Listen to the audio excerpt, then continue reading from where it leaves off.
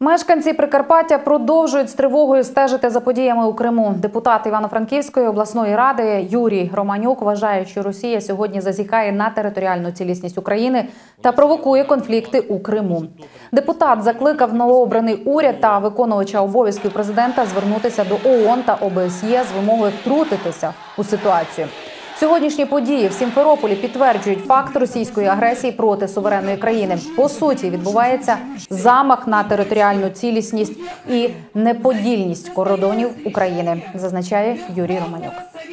Український уряд, виконуючий обов'язки президента, голова Верховної Ради, міністр закордонних справ ініціювати термінове засідання Ради безпеки ООН, яка зобов'язана якраз розглядати такі кризові ситуації.